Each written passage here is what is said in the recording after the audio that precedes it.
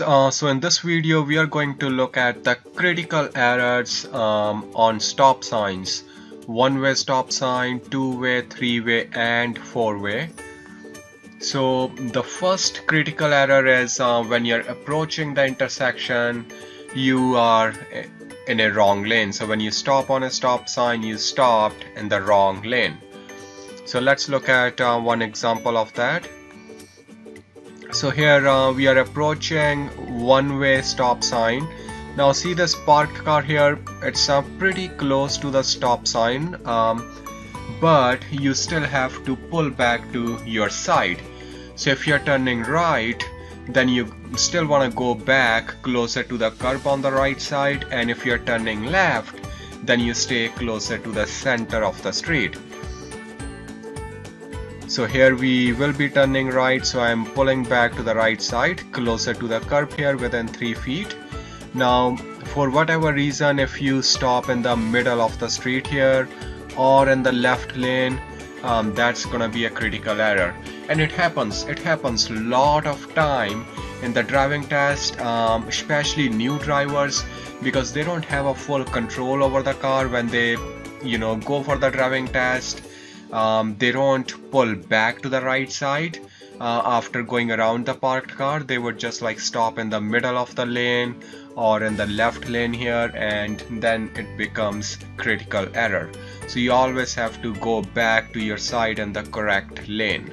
So let's look at uh, another example. Now this time the difference is we are on a one-way street and we are turning left from a one-way street onto a two-way street so here as we are approaching the intersection same idea here. See this white car here? It's pretty close to the stop sign but there's but there is still enough room for me to pull back to the right side. As you can see there's more than one car length distance. So that means I need to go back to the left lane in the first lane uh, to complete my left turn because I'm on a one-way street that's why we see stop sign on both sides and they both are facing me. Now in this example let's say if I don't pull back into this lane here if I just stay in the middle lane here and try to turn left from the middle lane that's gonna be a critical error.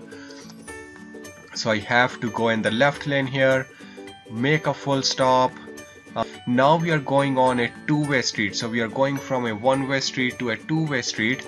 That means I just imagine a yellow line in the middle of the street here and I stay on the right side of the yellow line. So closer to the yellow line.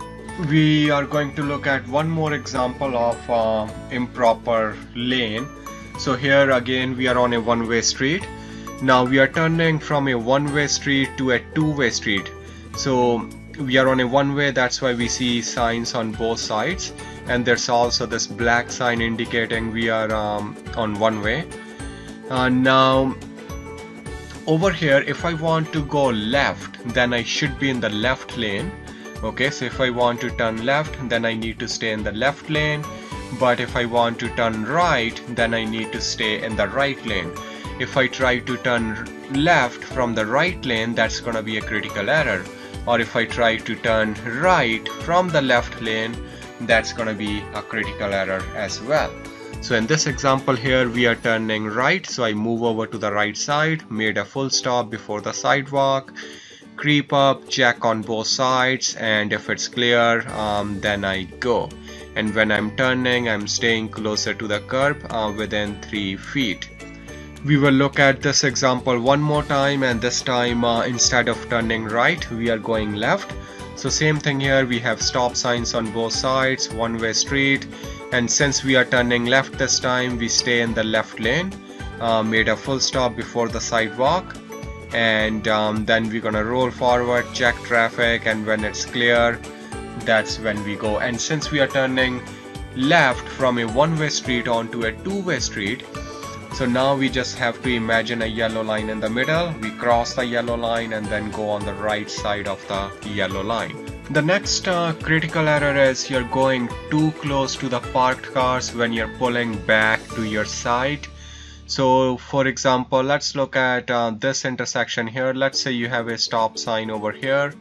Now uh, you are approaching from this side so you're driving uh, if you're on a wider road then you drive in the middle of the street but if you're on a narrow street then you drive uh, in the left lane. Uh, the idea here is that you always want to maintain minimum 3 feet or 1 meter from the parked cars. So at any time if you're going too close to parked cars that's gonna be automatic fail. So for example let's say you're on a narrow street and you're driving in the middle of the street like this now that's gonna be automatic fail because you're too close to this parked car. The reason for that is because we don't know maybe somebody sitting in this car and they can open up the door anytime.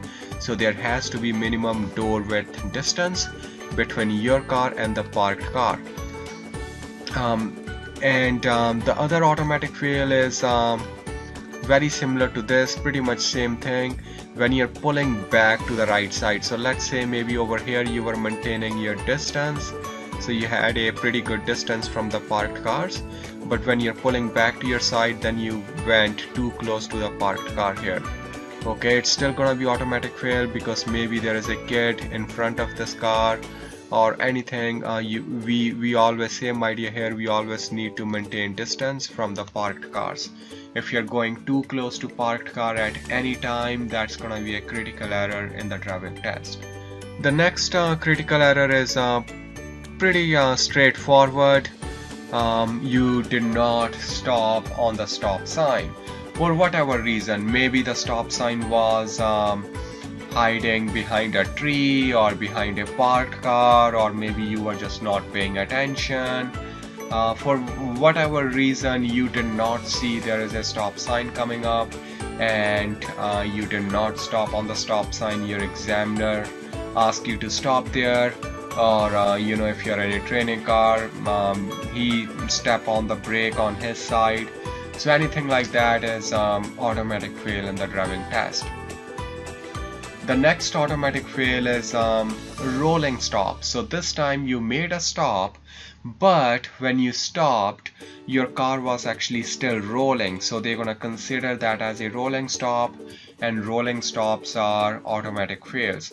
So when you stop on a stop sign, it has to be a full stop.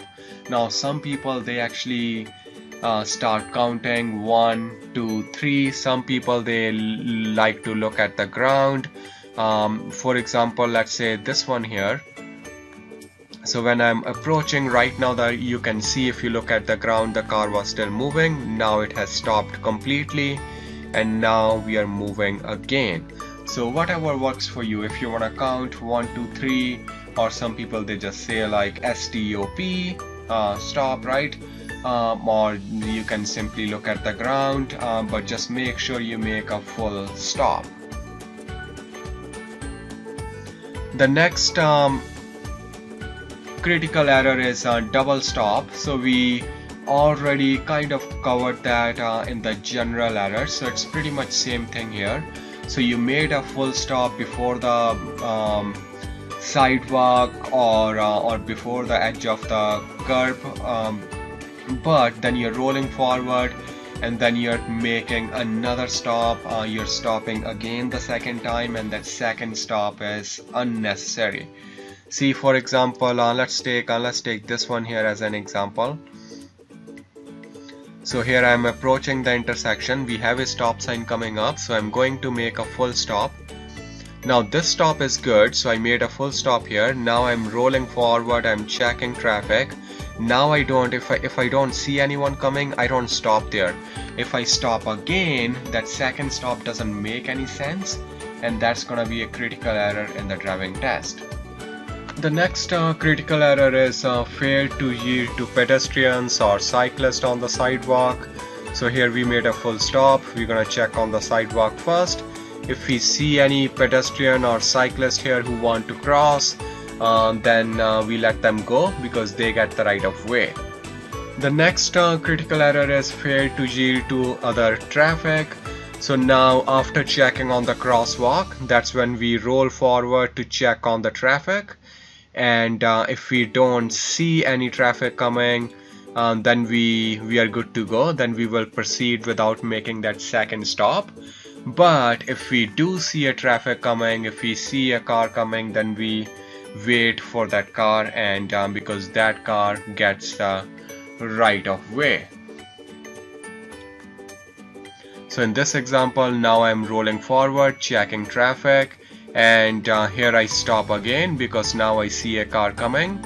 So we're gonna let this car go first and now the road is clear and then I complete my turn the next automatic fail uh, pretty much applies to all the stop signs and it's uh, hesitation. So let's say you made a full stop on the stop sign and um, now you see a car coming uh, doesn't matter. Let's say for example you're turning right and uh, now you see a car coming from the left side but the car is too far and you're not going. So that's gonna be hesitation and hesitation it depends on the situation. Sometimes it's a general mistake and sometimes it's a critical mistake. For example let's say uh, you hesitate and uh, maybe there's traffic behind you and they start honking um, then it becomes critical error. So a lot of hesitation is critical error. A little bit hesitation it's a general mistake. The next uh, critical error we have on the list is um, you are trying to go when uh, it's not your right of way. So let's take uh, this intersection again for example. So now I made a full stop and I'm just gonna roll forward here to uh, to check traffic. Now I do see a car coming but and that car is pretty close to me. If I don't wait for that car that means I'm trying to go before that car. That's gonna be a critical error because it's not my right of way the stop sign was a one-way stop sign so that means a cross traffic see uh, same thing here um, now this car is waiting for me because it's my right of way here okay um, because he's moving from a stop sign and I don't have a stop sign. So this critical error that I'm pointing out here is uh, you're trying to go when it's not safe to uh, safe to go when it's not your right of way now the next critical error is uh, pretty much the opposite. The next critical error is you're not going when you should be going okay? So you're not going when it's your right of way. Now if you look at this example again as we are approaching to this four-way stop sign you're gonna see on the left hand side there's also a black car coming.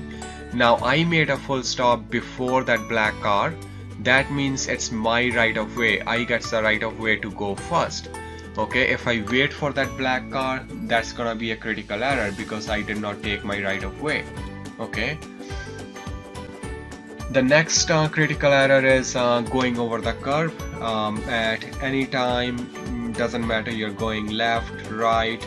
If you go over the curb uh, that's gonna be a critical error and the next critical error after that we have is uh, your speed. If you're going too fast or too slow for the conditions uh, without any reason um, that's going to be a critical error. So you always drive according to the road condition weather condition. So these are uh, almost all the critical errors um, on the stop signs the most common ones that I have seen from uh, my experience